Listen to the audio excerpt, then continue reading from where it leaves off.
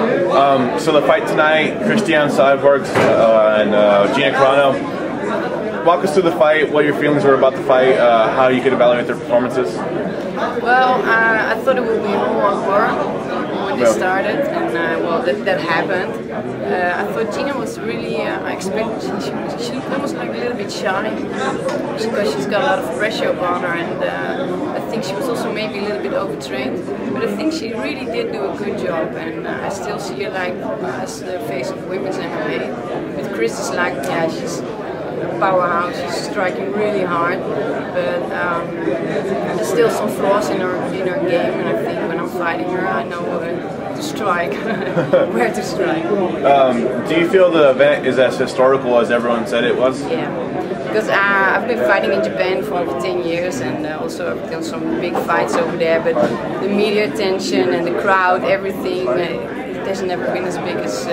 as it was now. With your considerable success in Japan, is that why you wanted to come to the United States to Strikeforce to uh, have that media attention, to have that exposure?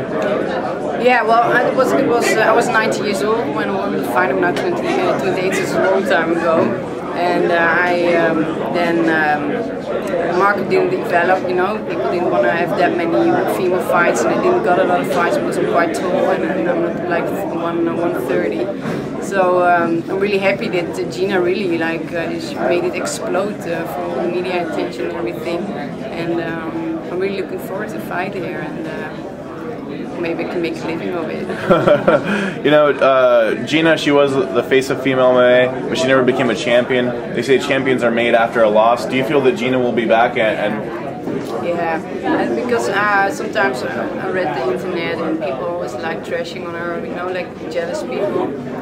You can see that she's really into it and uh, she's got a lot of opportunities to do different stuff and she still keeps her training and everything. And I really respect her and I think she's a good ambassador for the sport.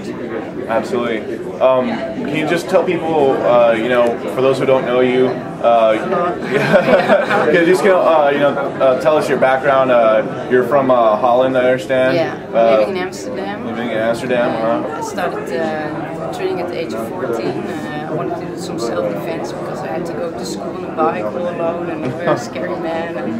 And, then I ended up training at uh, Martijn de Jong from the Glory team and uh, he started. Uh, he became the vice president of Shooto Europe, and he started organizing uh, all these uh, MMA events. And in the first MMA event, uh, I was fighting as an amateur fighter. I was 18 years old, and uh, after two amateur fights, I started fighting as a, also just like for today as a stand-in for who dropped out of the tournament in, in Japan, and it was a really one like. Um, quite heavy. they wanted to have me back uh, within a week uh, again to Japan, and then I won this big tournament, and it was again a stand-in. And uh, then uh, I quit school, and I really wanted to focus on fighting and everything, but I didn't become fights anymore. So I went back to school, and I always kept on training, and now I'm a marketer for an internet agency. I think it's important for people to know as well. Um, if you could just turn this way a little bit, we can see your cauliflower ear. Oh, which uh, that's people not. think I'm born with it. that's not everything you see on uh, on female fighters. You know. So that's very uh, great to see that you know you are training hard. you know you are getting the championship on your ears. Um, so that, that's great to see. Also, um, you know you've had a fight in the past with Erin Toughill, who's also in Strikeforce. Uh, is that a fight that interests you, or do you want to go straight for the title? Yeah, I really want to set the, the record straight with Erin. Um, I really was sick uh, fighting. Uh, there was a tournament. I already fought the fight, and uh, I was kind of sick, and she was like 22 pounds heavier. But nevertheless, Erin is a great fighter. I really respect her, but um, I really want people show. I really want to show to people that I really can knock her out, tap her out, Uh, how many fights do you have in a Strikeforce contract? Uh, I haven't got a clue. I haven't signed yet, but I, I know I will be fighting. Uh, hopefully, Cyborg. Uh, okay, so, so do you expect to sign? Is that what you're here in town for for negotiations? Uh, okay, fantastic. Yeah, I, I wasn't down to if one of the girls didn't make weight, I would be standing. Oh, okay, so you were the stand-in. Yeah, okay. I also make weight and everything. So. Oh, fantastic, fantastic. Um, and also, you know, Strikeforce mentioned doing tournaments uh, for female MMA. You know, like one-night tournaments. Is that something that you'd be interested in, in participating? I've done a lot of tournaments, um, like tournament that I won, but uh, after that I also did for I think it was called K Grace, did a tournament, and uh, also for another. Uh, Japanese names. This isn't Jewels, it was like Smack Girl, something like that. So I've got experience in tournaments. Uh, you're not the worst looking woman I've ever seen. uh, do you do you expect that you know if you have good showings in the cage that you could become the face of uh, mixed martial arts the way everyone said Gina would be?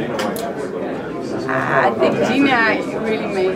I hope I, I will become it, but I, I don't think so because Gina is really uh, one of a kind and uh, she's got great looks and everything. Uh, I think I know I can beat her obviously, but uh, she really has done a good job in being an ambassador for the sport.